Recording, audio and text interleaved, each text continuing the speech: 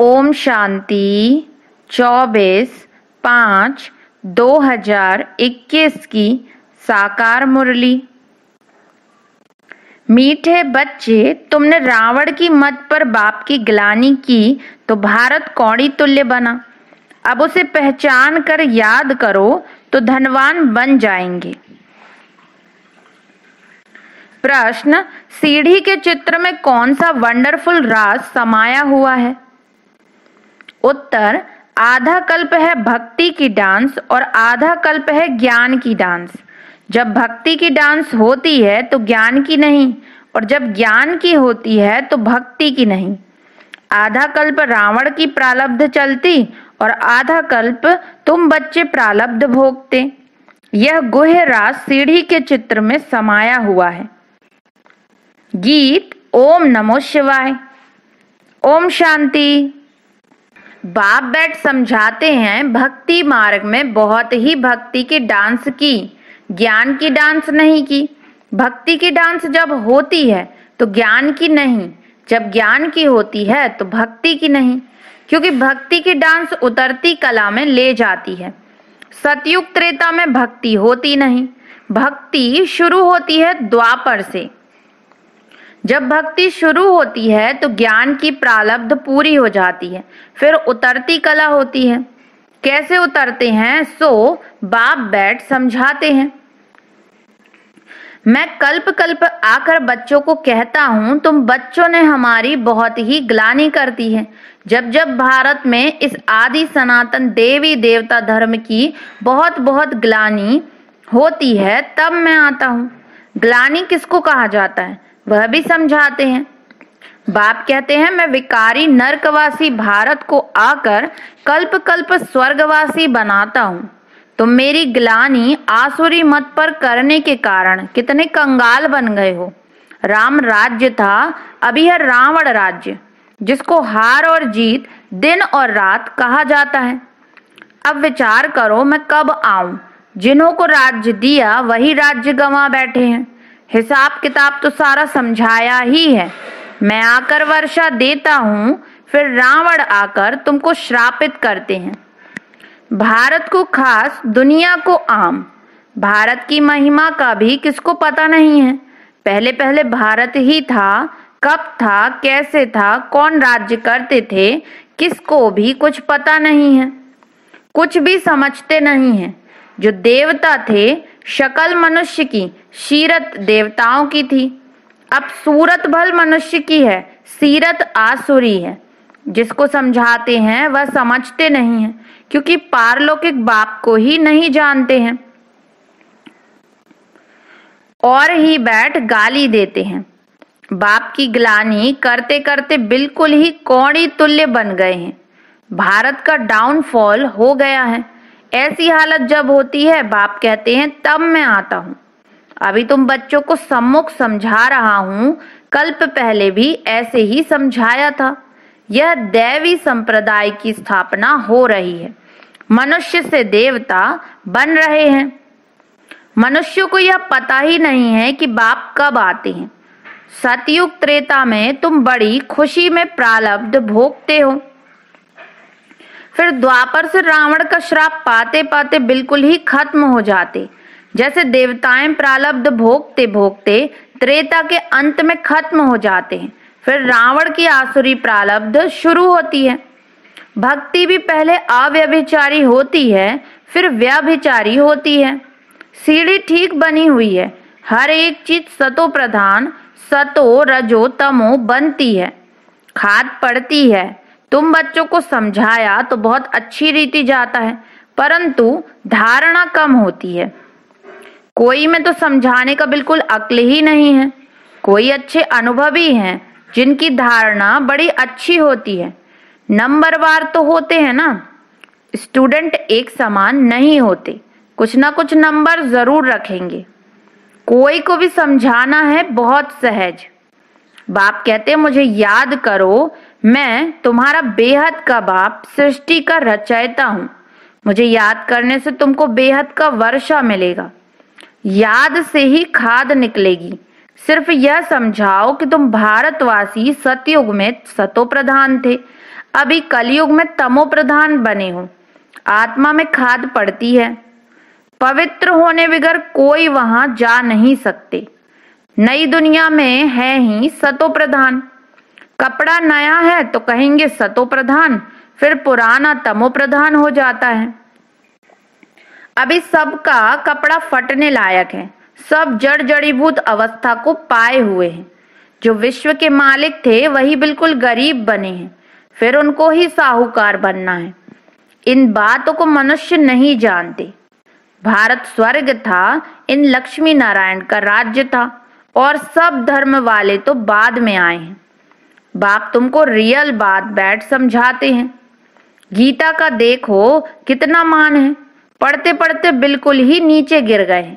तब पुकारते हैं, हे पतित पावन, आओ। हम भ्रष्टाचारी बन गए हैं। सदगति तो भगवान ही दे सकते हैं। बाकी शास्त्रों में तो सब है भक्ति मार्ग। तुम्हारी बुद्धि में बैठा हुआ है, हम बाबा के ज्ञान से देवता बनते हैं। अब सारी दुनिया से वैराग्य है। सन्यासी भी भक्ति करते हैं, गंगा स्नान आदि करते हैं ना। भक्ति भी सतो प्रधान फिर रजो तमो होती है। यह भी ऐसे है। आधा कल्प दिन, आधा कल्प रात गाई जाती है। ब्रह्मा के साथ ज़रूर ब्राह्मणों का भी होगा। तुम अभी दिन में जाते हो, भक्ति की रात पूरी होती है। भक्ति में तो बहुत दुख है, उनको रात कहा जाता है। अंधेरे में धक्के खाते रहते हैं। भगवान से मिलने के लिए। भक्ति मार्ग में सदगति देने वाला कोई होता नहीं। तुम्हारे सिवाय कोई भी यथार्थ रीति भगवान को नहीं जानते। आत्मा भी बिंदी, परमात्मा भी बिंदी, यह बात कोई भी समझ ना सके। परमात्मा ही स्वयं आकर ब्रह्मा तन से समझाते हैं। उन्होंने फिर भागीरथ बैल के रूप में दिखाया है। अब बैल की तो बात ही नहीं। बाप सब बातें अच्छी रीति समझाते हैं, परंतु किसकी बुद्धि में पूरी रीति बैठता नहीं? बाप बैठ समझाते हैं, बच्चे, मैं तुम आत्माओं का बाप हूँ, तुम मुझे याद करो और वर्षे को याद करो तो तुम्हारे विकर्म विनाश होंगे। फिर भी कहते हो, भूल जाते हैं। वाह, ऐसे साजन व बाप को भूलना चाहिए? स्त्री पति को अथवा बच्चे कभी बाप को भूलते हैं क्या? यहाँ तुम क्यों भूलते हो? कहते भी हो, बाबा, आप हमको स्वर्ग का मालिक बना रहे हैं। फिर भी भूल जाता हूँ। बाप कहते, याद नहीं करेंगे तो अंदर जो कट चढ़ी है, वह कैसे निकलेगी? मुख्य बात है ही याद की। अपना कोई दूसरे धर्म से ताल्लुक नहीं है। स्कूल में तो हिस्ट्री, ज्योग्राफी समझाते हो। कोई तो बिल्कुल समझते नहीं। बाप पढ़ाते हैं, यह बुद्धि में बैठता नहीं। अच्छा बाप और वर्षा तो याद करो कि यह भी भूल जाते हो। जिसके लिए आधा कल्प से भक्ति करते आए, उस बाबा को याद नहीं करते। तुम बच्चों की बुद्धि में है, अब हम यह शरीर छोड़ राजाई में जाएँगे। यह अंतिम जन्म है। सूक्ष्म वतन में उनके फीचर्स तो वही देखते हो बैकुंठ में भी देखते हो। जानते हो यह मम्मा बाबा ही लक्ष्मी नारायण बनते हैं। तुम जब सतयुग में रहते हो तो समझते हो कि यह एक शरीर छोड़ दूसरा लेना है। वहाँ उनको यह पता नहीं रहता कि सतयुग के बाद त्रेता आएगा, द्वापर आएगा, हम उतरते जाएँगे। ज्ञान की बात नहीं रहती, पुनर्जन्म लेते रहते हैं। वह आत्माभिमानी रहते हैं, फिर आत्म अभिमानी से देह अभिमानी बन जाते हैं। यह नॉलेज सिर्फ़ तुम ब्राह्मणों को है और कोई के पास नहीं है। यह ज्ञान ज्ञानेश्वर को, ज्ञानेश्वर जो ज्ञान का सागर बाप है, वही सुनाते हैं। ज़रूर ब्रह्मा के बच्चे ब्राह्मणों को ही सुनाएँगे। ब्रह्मा के बच्चे हैं ब्राह्मण संप्रदाय। रात दिन का फ़र्क है। तुम पुरुषार्थ कर संपूर्ण गुणवान बनते हो। संपूर्ण निर्विकारी गृहस्थ व्यवहार में रहते भी तुम बाप को याद करो। कर्म तो करना ही है। बुद्धि का योग बाप के साथ लगा रहे, कर्म भल कोई भी करो, बढ़ाई का काम करो व राजाई करो। राजा जनक का भी गायन है ना? राजाई करते रहो, परंतु बुद्धि का योग बाप के साथ लगाओ तो वर्षा मिल जाएगा। पाप कहते हैं, मन मना भाव, माँ में कम याद करो। शिव बाबा कहते हैं, सिर्फ़ शिव कहने से लिंग याद आएगा, और तो सबके शरीर का नाम लिया जाता है। पाठ शरीर से बजाते हैं। अभी तुमको आत्म अभिमानी बनाया जाता है, जो आधा कल्प चलता है। इस समय सभी हैं देह अभिमान में। वहाँ आत्माभिमानी होंगे यथा राजा रानी तथा प्रजा। आयु तो सबकी बड़ी होती है, यहाँ सबकी आयु कम है। तो बाप सम्मुख बैठ समझाते हैं बच्चों को, कितना अच्छी रीति समझाते हैं। हे आत्माओं क्योंकि आत्मा ज्ञान लेती है, धारणा आत्मा में होती है। बाबा को शरीर तो है नहीं, आत्मा में सारा ज्ञान है। आत्मा भी स्टार है, बाबा भी स्टार है, वह पुनर्जन्म नहीं लेते हैं। आत्माएँ पुनर्जन्म लेती हैं। इसलिए बाबा ने काम दिया था कि परमात्मा की महिमा और बच्चे की महिमा लिख कर आओ। दोनों की अलग अलग है। श्री कृष्ण की अलग महिमा है वह साकार, वह निराकार, इतना गुणवान किसने बनाया? ज़रूर कहेंगे परमात्मा ने बनाया। इस समय तुम ईश्वरीय संप्रदाय हो। तुमको बाप सिखला रहे हैं, पीछे फिर प्रालब्ध भोगते हैं। सतयुग में तो कोई नहीं सिखलाएँगे। भक्ति मार्ग की सामग्री ही खत्म हो जाती है। इस दुनिया से वैराग्य भी चाहिए, अर्थात देह सहित देह के सब संबंध छोड़ अपने को अशरीरी आत्मा समझना है। अशरीरी आए थे अशरीरी जाना है। यह पुरानी दुनिया खलास हो जानी है। हम सब नई दुनिया में जाने वाले हैं। बस यह याद की मेहनत करो, करते रहो। इसमें ही फेल होते हैं।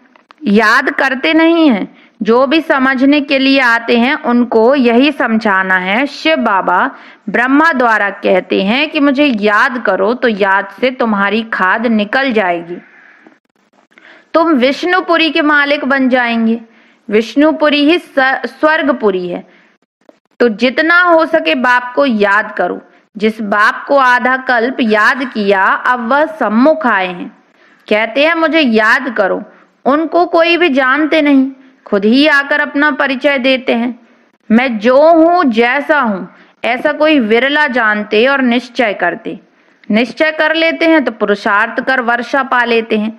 शिव बाबा कहते मुझे याद करने से ही तुम्हारे विकर्म विनाश होंगे और तुम पवित्र बन, पवित्र दुनिया के मालिक बनेंगे। विकर्म कोई भी नहीं करना है। अच्छा मीठे मीठे सिकिलदे बच्चों प्रति मात पिता बाप दादा का याद प्यार और गुड मॉर्निंग रूहानी बाप की रूहानी बच्चों को नमस्ते। हम रूहानी बच्चों की रूहानी मात पिता बाप दादा को याद प्यार गुड मॉर्निंग और नमस्ते नमस्ते नमस्ते। धारणा के लिए मुख्य सार। पहला पुरुषार्थ कर संपूर्ण गुणवान बनना है। कर्म कोई भी हो, लेकिन बाप की याद में रहकर करना है। कोई भी विकर्म नहीं करना है। दूसरा, यह पुराना कपड़ा शरीर जड़ जड़ी भूत है, इससे ममत्व निकाल देना है। आत्मा को सतो प्रधान बनाने का पूरा पूरा पुरुषार्थ करना है। वरदान करना और कहना, इन दो को समान बनाकर क्वालिटी की सेवा करने वाले सच्चे सेवाधारी भव। सदा अटेंशन रहे कि पहले करना है, फिर कहना है। कहना सहज होता है, करने में मेहनत है। मेहनत का फल अच्छा होता है, लेकिन यदि दूसरों को कहते हो स्वयं करते नहीं तो सर्विस के साथ साथ डिस सर्विस भी प्रत्यक्ष होती है। जैसे अमृत के बीच विष की एक बूंद भी पड़ने से सारा अमृत विष बन जाता है। ऐसे कितनी भी सर्विस करो, लेकिन एक छोटी सी गलती सर्विस को समाप्त कर देती है। इसलिए पहले अपने ऊपर अटेंशन दो, तब कहेंगे, सच्चे सेवाधारी।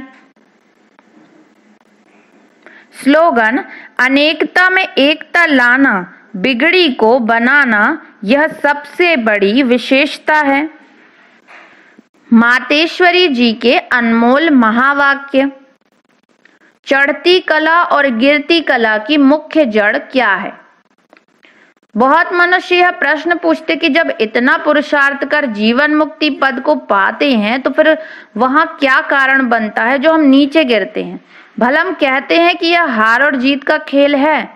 इसमें चढ़ती कला और उतरती कला होने का भी कोई कारण ज़रूर है, जिस कारण के आधार पर यह खेल चलता है। जैसे पुरुषार्थ से हम चढ़ रहे हैं, वैसे गिरने का भी कारण ज़रूर है।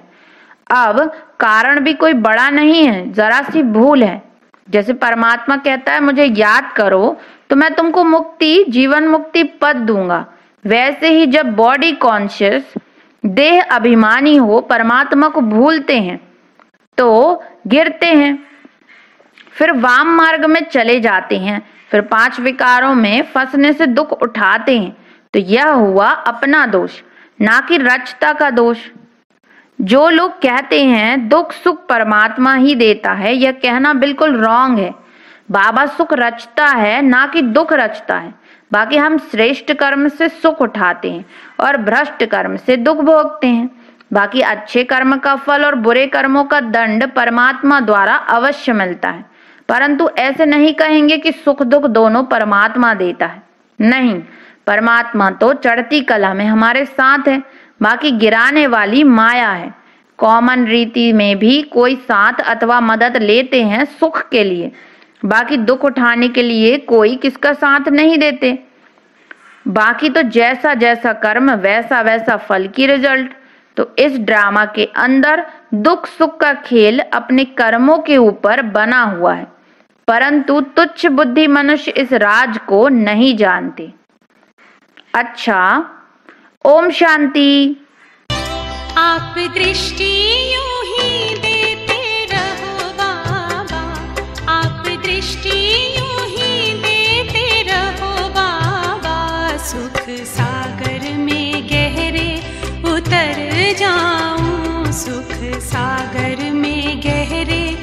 उतर जाऊँ।